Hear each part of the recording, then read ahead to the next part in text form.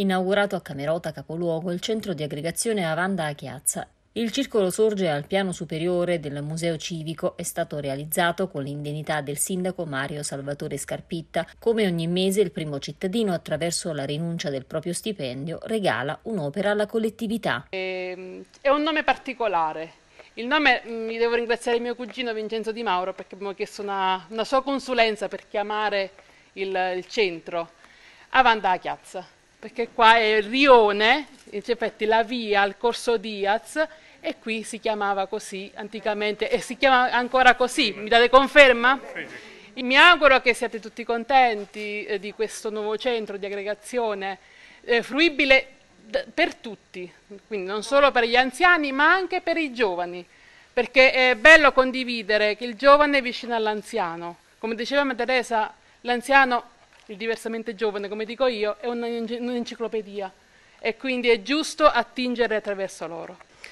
In questo periodo storico in cui viviamo, dove dobbiamo praticare il distanziamento sociale, può sembrare un po' un controsenso inaugurare un centro di aggregazione, ma è proprio questo eh, il momento in cui dobbiamo stare più vicini all'anello più debole della nostra società, che sono gli anziani e i bambini. Quindi distanziarci sì, ma con l'affetto e con la consapevolezza che queste persone non devono essere lasciate sole. Anziano non significa vecchio, anziano è il passato che vive nel presente.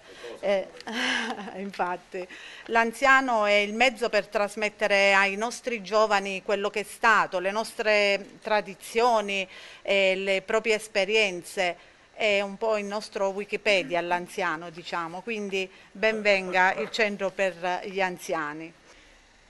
La partecipazione di questa sera dimostra che la gente vuole fatti, che è stanca di social, è stanca di persone che parlano ma che poi nella concretezza, vista anche la loro storia, dimostrano poco quanto niente.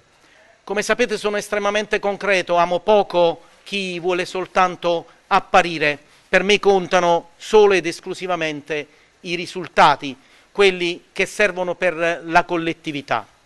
Noi questa sera non abbiamo fatto nulla, nulla di eccezionale, abbiamo soltanto usato lo stipendio dell'amministrazione e lo abbiamo messo a disposizione perché nell'agenda politica di questa amministrazione, quando siamo andati sui balconi abbiamo detto delle cose, che avremmo fatto delle cose.